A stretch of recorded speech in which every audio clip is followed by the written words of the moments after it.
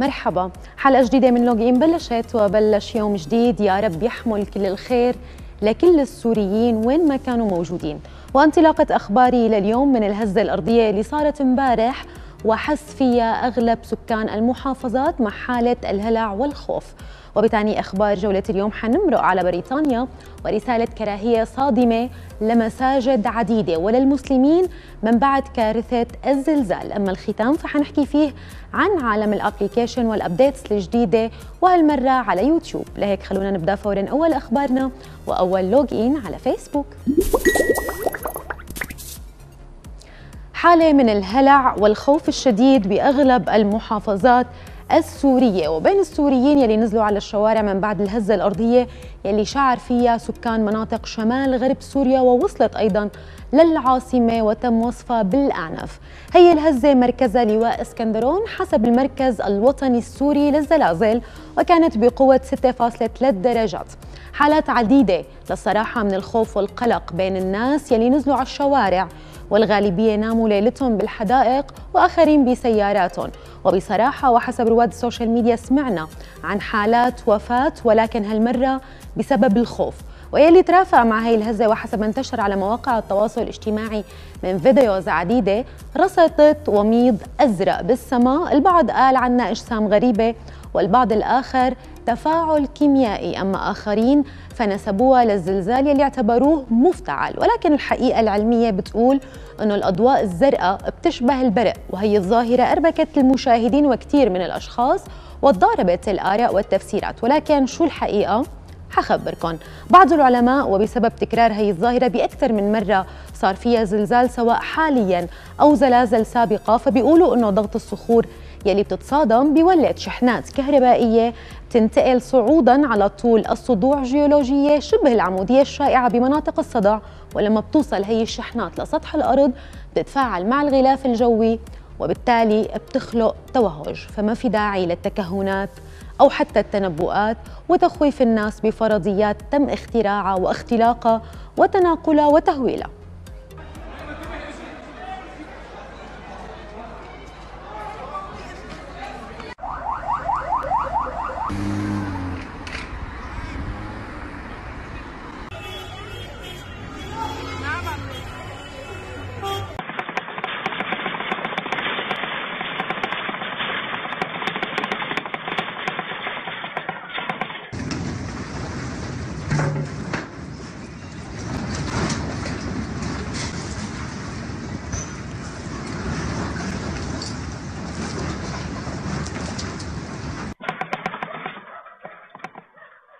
تاني أخباري وتاني log in على تويتر.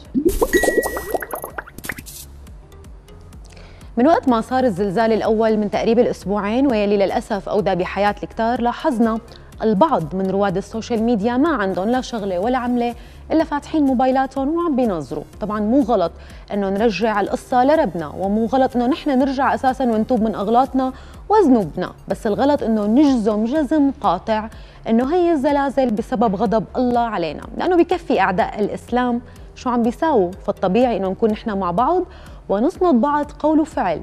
ليش عم بحكي هيك؟ لأنه الكره الموجه للإسلام والمسلمين تخطى المعقول. فبرسائل لا إنسانية تلقاهم مسجدين بالعاصمة البريطانية لندن. رسالة كراهية صادمة ضد المسلمين يلي راحوا ضحية الزلزال الكارثي.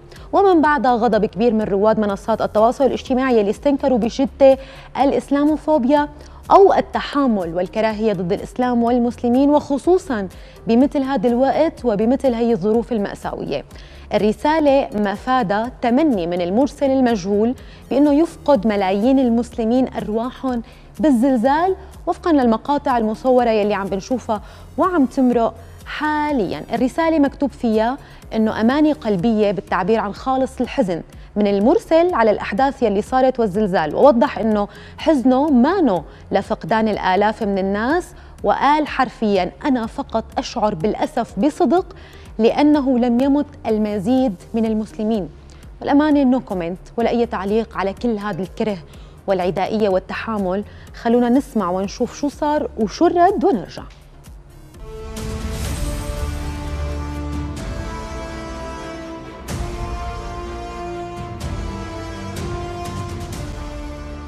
Hate crime to wish that not enough of us died. At the same time, I feel pity for this person because the persons that have taught him uh, to be this way saddens me. This person obviously has mental health conditions. 20,000 plus dead was nowhere near, near enough. There should have been at least 2 million dead, at the very minimum. The contents of this letter and that it would be posted at a time where we are trying to help people, people that have lost their children, people who lost their mums, their dad, family. I can only pray for the person that sent this letter because they need help.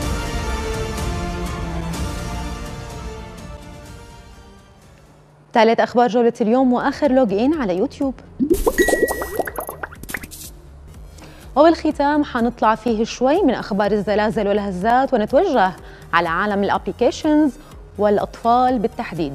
فأعلنت شركة جوجل عن إطلاق تطبيقها الموجه للأطفال YouTube Kids بنسخة جديدة لأجهزة التلفزيون الذكي ومنصات الألعاب. والتطبيق متوفر حاليا لعدد من أجهزة التلفاز الذكي من سامسونج و LG وحتى أمازون وغيرهم. كتار إضافة لمنصة أندرويد TV و Apple TV. وأيضا حيوصل لمنصات الألعاب ولكن النسخة الجديدة منه حتكون مدمجة بتطبيق يوتيوب الرسمي عبر إضافة خيار جديد ضمن التطبيق للتبديل لواجهة الأطفال والعودة بسهولة لواجهة يوتيوب التقليدية. من دون ما نحتاج انه نشغل تطبيق YouTube Kids بشكل مستقل. التطبيق بيوفر محتوى ملائم للأطفال بمختلف الأعمار وأيضا بيتضمن مواد تعليمية وترفيهية والمهم جدا أنه إعدادات التحكم الأبوية موجودة وبيسمح للأهالي بتحديد مؤقت الزمن لمشاهدة اليوتيوب عند الأطفال وأيضا بيتوقف هالتطبيق عن العمل من بعد انقضاء هذا الوقت إضافة لميزات كثيرة مثل تعطيل خاصية البحث وأيضا إمكانية عرض المحتوى وفقا لعمر الطفل وغيرهم. كتار ومن المفترض وصول التطبيق بشكل تحديث جديد على ال application الأساسي ليوتيوب بالخلال الأسابيع القليلة. يلي جايه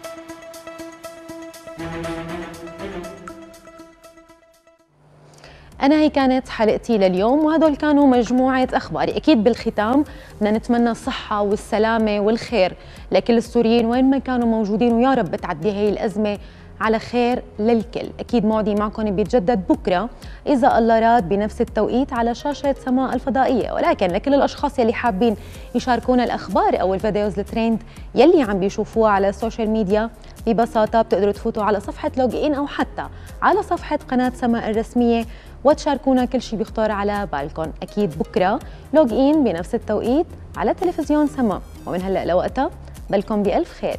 bye bye.